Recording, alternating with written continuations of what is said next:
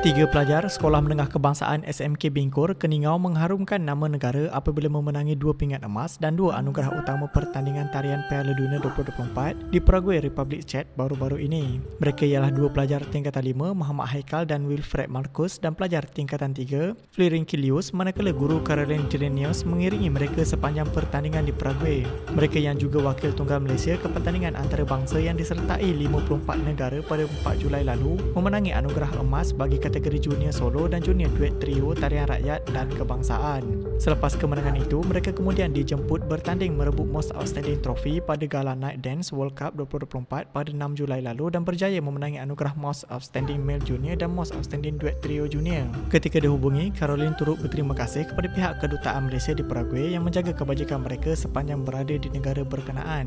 Beliau juga berharap kejayaan tiga pelajar SMK Bingkur itu dapat menyuntik semangat kepada sekolah berkenaan untuk terus menyerlah di di semua peringkat sama ada dalam negara atau antarabangsa.